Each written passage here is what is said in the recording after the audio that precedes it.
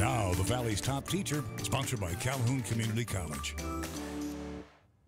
We know just how important it is for kids to get an early start on their education.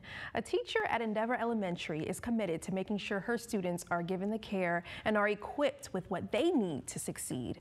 Meet this week's Valley's top teacher, Caroline Chisler. All right, ready? There's January, February, March, and April.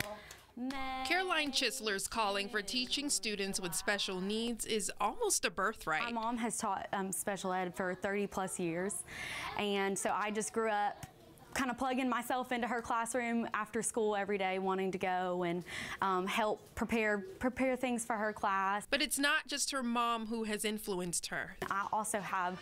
Um, family members and, and, close friends of mine with um, special needs and I just found found a love for working with students. Chisler is inching toward three years as a teacher, and in that time, like a lot of teachers, she faced the challenges of COVID.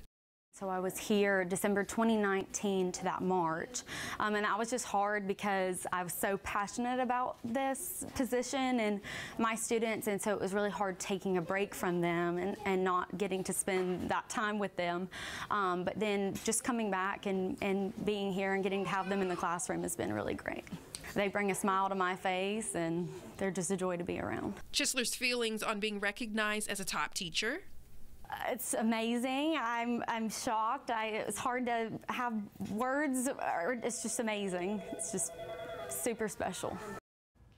All right. Thank you so much, Ms. Chisler, for all that you do. If you know of a teacher, nominate them on the Valley's Top Teacher tab at fox54.com.